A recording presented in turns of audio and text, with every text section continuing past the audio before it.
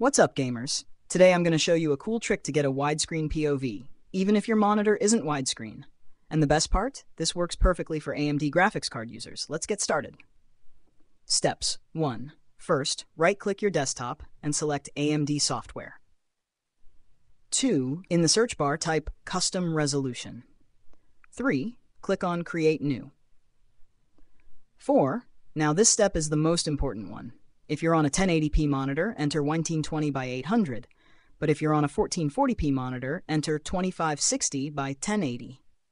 5. Next, enter your monitor's refresh rate. For example, I have a 44Hz monitor, so I type in 144. Once that's set, click Create.